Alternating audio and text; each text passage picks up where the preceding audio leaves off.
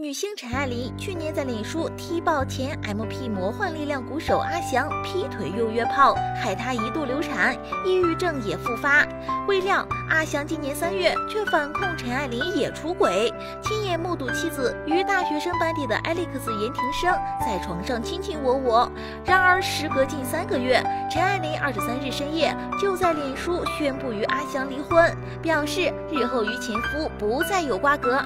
陈爱玲在文中宣布与阿翔不再有瓜葛，同时也回应互控出轨新闻。关于所有的报道和影射，我只能说，这段婚姻没有谁是真正的破坏者，只是它的开端就注定了失败而已。